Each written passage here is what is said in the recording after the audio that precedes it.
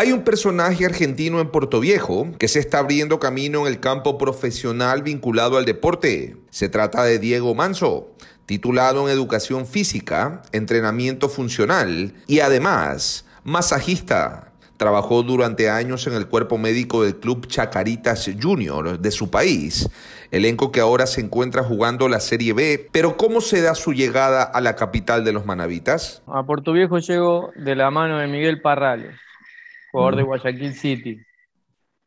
Yo primeramente había ido a Quito, porque me habían, yo vendría a estaba trabajando en Chacarita y me llamó una persona que tenía un proyecto para hacer en Quito y me pareció muy importante, muy bueno y me vine para, para Quito. Ese proyecto no se dio y gracias a Dios y al fútbol, yo tengo mucha, muchos conocidos en el fútbol argentino y que justo vinieron a jugar aquí a, Ecuador. tenía un amigo que jugaba en Católica y era compañero de Miguel Parrales. Y, sí, sí, eh, se llama eh, Matías Rodríguez. Ah, Coco Rodríguez pasó por, por, eh, por Católica. Católica.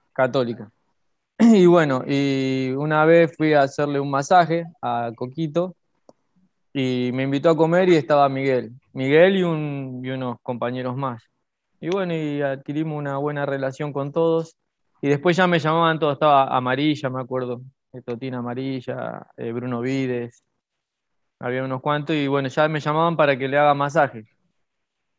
Y bueno, y ahí fui teniendo relación con muchos jugadores de acá de Ecuador. Miguel Parral estaba en Católica y no tenía mucho rodaje, y también me contrató como entrenador personal. Y yo me volví a Argentina porque ese proyecto no se había dado.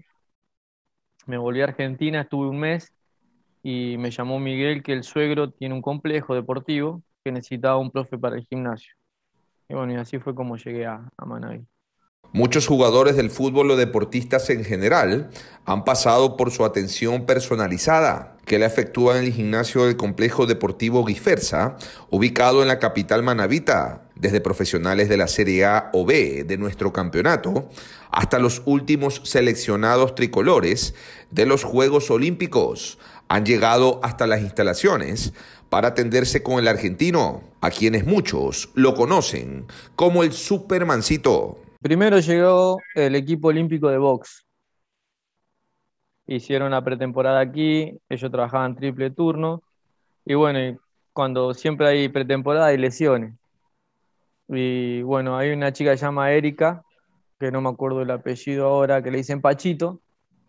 Ya, ya, Erika Pachito, la boxeadora. Erika Pachito, sí. Eh, tenía una tendinitis rotuliana y empezamos a trabajar con esa tendinitis también le dije si quería que le ayude, me dijo que sí, y bueno, y trabajamos. Y Julio Castillo tenía un problema lumbar y también hicimos unos ejercicios de, acondicionamiento y también se empezó a sentir bien.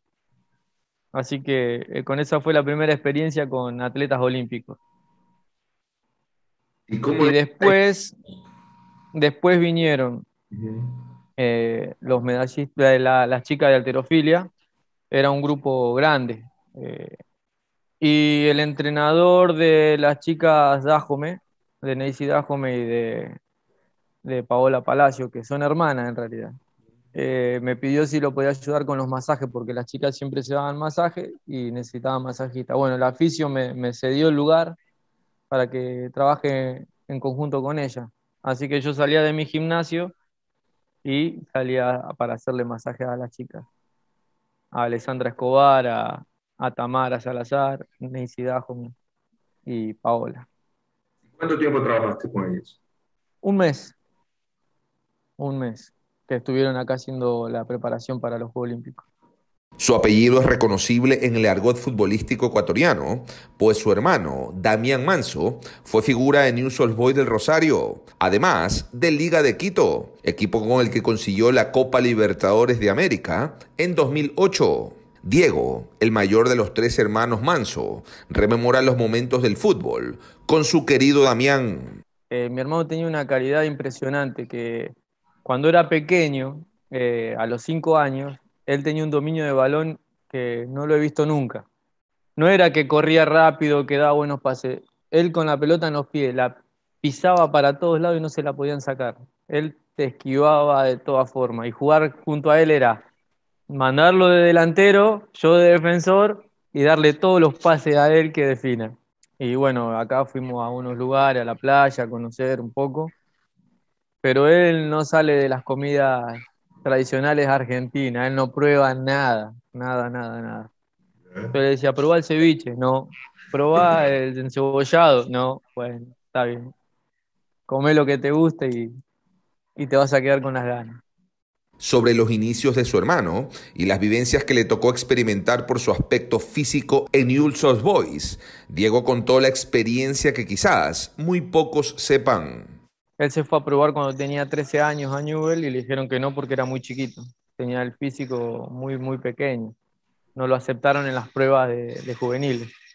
Se fue a la contra, a Rosario Central, y le dijeron lo mismo, que por el físico se dedique a otra cosa porque con el físico no iba a llegar a ser futbolista. Y mi hermano dejó el fútbol por un año, no, no jugó, no jugó a ningún lado, hasta que vino un vecino y lo llevó a un club del barrio, que jugaba la Liga Rosarina. La Liga Rosarina es una liga muy importante de la ciudad, que la mayoría de los jugadores rosarinos pasan por ahí. Eh, ya sea de Newell o Central, tienen que, juegan un partido, juegan seguro. Y y una liga muy competitiva. Y bueno, y le tocó jugar contra Newell, contra Central, y ese año salió campeón su categoría, del club de barrio. Y, el, y uno de los directivos era un exjugador de Newell. Y, y, lo lleva, le dice, yo te voy a llevar a Newell. Y mi hermano le dice, no, si yo ya fui, no, no me quisieron. Dice, vos déjame a mí que yo te llevo. Y habló con Grifa, que era el coordinador de inferiores en ese momento, y le dijo que le iba a llevar un chico pero que no le mire el aspecto físico, sino que mire cómo juega. Y bueno, y lo enamoró a Grifa y, ahí quedó.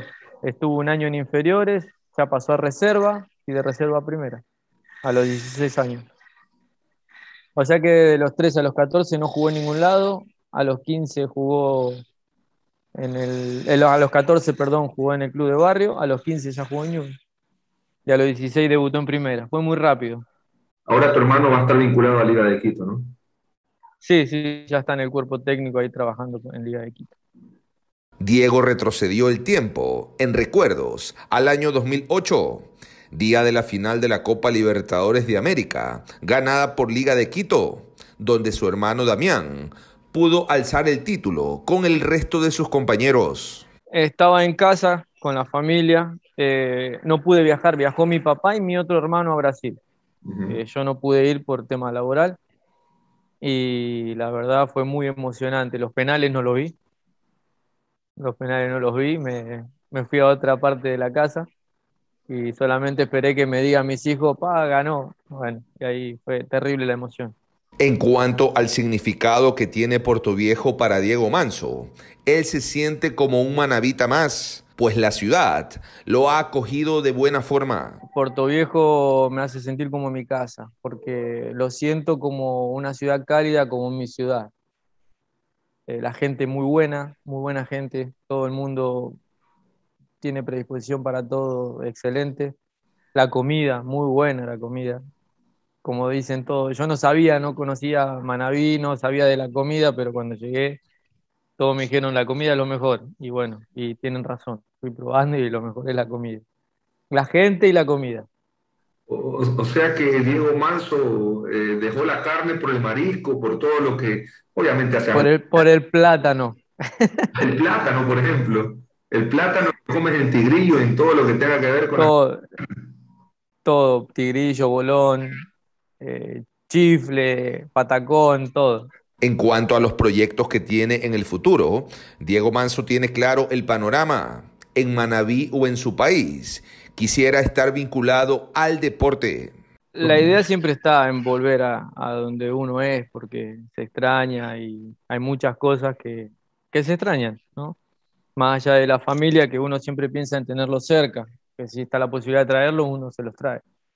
Pero mi, mi, sueño y mis metas son siempre relacionadas al deporte. Si es fútbol, que es lo que me encanta, sería lo ideal, uno siempre busca, busca para ese lado. Y la verdad yo estuve en el fútbol y es algo que día a día se extraña muchísimo, muchísimo. Por más que uno diga, ahí, pero estaba en un club que quizá eh, no estaba bien económicamente, pero el día a día era, era impagable. Eh, la relación con los jugadores, eh, con tus compañeros mismos, el cuerpo médico, los utileros, es algo que es difícil de explicar. ¿Y has tenido propuestas de algunos equipos argentinos o aquí mismo algunas instituciones deportivas de Ecuador? Cuando volví a Argentina, que se acuerda que le dije que estuve en Quito, volví a Argentina. Bueno, eh, la gente de Chaca me, dijo que si quería volver, que tenía las puertas abiertas. Y ahora mismo me, eh, estoy en contacto con mis amigos y me dicen, te extraño, vení que hay nueva comisión directiva, volvé. Y, pero yo ahora estoy bien acá. Estoy bien, quiero, quiero hacer algo acá. Eh, sea en Puerto Viejo, donde sea.